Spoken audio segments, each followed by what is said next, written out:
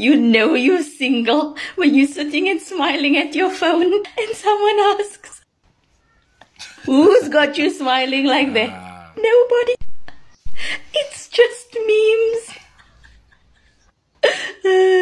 Men are so good at pretending at 1st They're so good at being on their best behavior at first. Men start to unravel who they really are in like that six month mark. And I've noticed that. because of the standards that you have, and men are trying to get you. But guess what? They can't maintain those standards. So you have to see their real selves and deal with it. Hey, man. So I think this needs to be stated. Your first job as a mother is to choose a good father for your kids. Oh, Your first job as a mother is to choose a good father for your kids. oh. And a lot of y'all are failing at that. Guys, is she talking about a situation where a woman sleeps with a Ray Ray and then she has. Uh, uh, she becomes pregnant and then she lies out on another guy because the other guy is more financially stable? Or is she talking about a situation where a woman has three kids from different uh, baby daddies and then she has to pick uh, a high value man like I'm confused here. Like I'm confused. Why doesn't she talk about like picking a, a, a great husband or a good husband? Let's watch. Because choosing the father of your kids is probably one of the most important decisions you make on behalf of your kids. Because this is the same man that not only you have to be able to depend on, but your kids have to be able to depend on. So make this choice count. I have a question for the men. Do you guys still want to get married? Like, is that still a thing?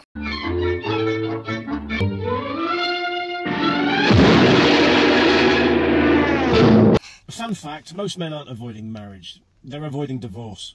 I'm sure if you speak to a lot of fellas, they'd say that they'd like to get married, you know, settle down with someone for life. But let's look at what incentives are out there at the moment. We've got stuff like this all over social media.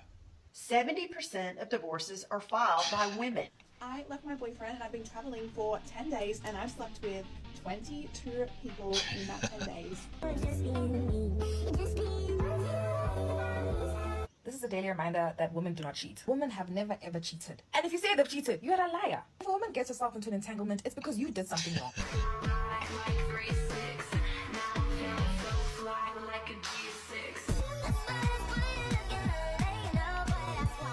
Marriage is not a sanctimonious thing. It is it is paperwork. It, If you want men to give you everything you want, you have to manipulate them. I find it weird that we're asking the question of men that why don't you want to get married anymore instead of asking the question of why are so many people becoming unmarried. Yeah. There's so many guys that have given up dating, let alone looking for marriage. now I'm a heavy romantic, always have been, so I'd love to get married, love to settle down and spend a lifetime with someone. But women these days give up so quickly and move on to the next person. I just view all relationships as temporary. Any relationship I get into now, I'm thinking, how long is this going to last? I'll just enjoy it for the moment. Do I want to give a massive commitment to someone who's not going to stick it out? And this is the way a lot of guys think. So, do, do many men want to get married nowadays? Probably not. Especially when they see what their friends have gone through that have been married. Yeah. Avoid, dodge, abort, abort, abort. Long story short, if a woman wants to get married, well, she's Yeah. going to be worth marrying. Otherwise, it's not happening.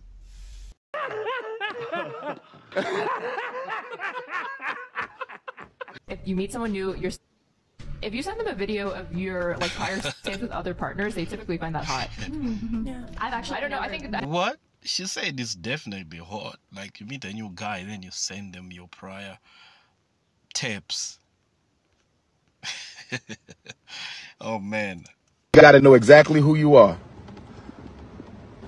Lord have mercy. We must stay focused, brothers. We must stay at focused. that point it's still watching together. That's weird. Wait, No, yeah. sorry. The new upcoming boyfriend would be stoked on viewing, I had that happen. Yes. and you think most men would feel feel that way? most men would be stoked on seeing videos Yes. of their soon-to-be girlfriend having with other men. Yeah. Okay, ladies, if you're watching this, under no circumstances should you take True. advice from any of these OnlyFans floozies. Okay, 100% what is happening here is that they're trying to sabotage other women by giving them just awful advice so they look better. In comparison, no, a prospective boyfriend would not like to see you and your ex like getting it on. That is no go. This is absolutely intersexual competition. It's a nightmare. 2024, and this is what happens when you stop paying bills for a girl. I just got off work. I come to my car, and this is what I find. Then she left a note on the back of my car. Look at this. Since you won't pay my bills, pay for your window. Period. So this a little bit of the backstory. This what happened, you feel me? She hit me up yesterday, right? And she was like, oh, uh, I need you to pay my phone bill. I need you to pay my rent. I need you to pay all this stuff. I told her I ain't paying your bills no more. Find somebody else to do it. And the reason why I cut her off and stopped telling her I'm gonna pay her bills is because every time I text her phone and I call her phone, she always treating me like I'm an option. She don't never respond to my calls. She don't never text me back in a reasonable amount of time. So I say, man, it's 2024. We ain't doing that this year. You ain't gonna be treating me like I'm no no second option. Then when you need your bills paid, all of a sudden your phone working, you can hit me up. If you ain't got that energy to hit me up no other time, don't hit me up when your bills did.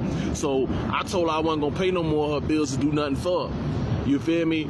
She ended up trying to argue with me. I hung up in her face. You feel me? And this is what I found. Actually, your intuition is correct. Like that girl views you as an option. You're just that guy that you will pay her bills. So she only needs you for the bills. She's not gonna give you 100%. She's gonna give you herself. You're not gonna get that from her. You're not gonna get her attention. You're not gonna get uh, uh, unless she wants her bills paid. So if you're not making any money and I'm making money myself, I don't think I don't think we're compatible. If she's broke, my thing is you can take care of her to get to where she needs to get. Now, once she, Why do I have to do that? you listen, you don't have to do anything. But if you want to be in a productive, committed relationship, Nope. every relationship Uh-huh. has their flaws. Every relationship has their journeys For and their peaks and valleys. Mhm. So, in order for you to get the woman that you want, you have to give her something and instill something But- in her to get to where she needs to go. But same thing that y'all will have y'all standards, right? With a man with money, I, a man can have the same thing otherwise. Like, So the end question is: So you care how much a woman has? yes. There's a lot of conversation out there right now about how there are no more masculine men. That men used to be the providers, the protectors, the hunters. And where did they all go? They don't want to be providers anymore. But what we forget is that they were never providers, protectors, or hunters alone. There was always a tribe. There was always a support system and a community. And the way our society has positioned men now is to be an island. They're all alone. And to be masculine is to